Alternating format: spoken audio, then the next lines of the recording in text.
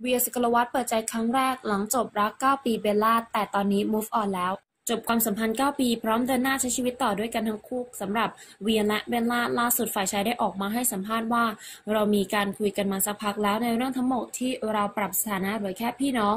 เราก็ยังมีความหวังดีต่อกันทุกอย่างเป็นไปได้ด้วยดี เราไม่เคยทะเลาะกัน ไม่เคยมีเรื่องมือที่สามแต่มันจะมีมุมมองบางอย่างที่เราอยู่ในสถานะที่เป็นพี่น้องกันน่าจะดีกว่า มีเหตุผลและคุยกันตลอด ทุกอย่างมันคือการที่เราคุยกันมาตลอด เราไม่ได้ปรับปรับปรับเลย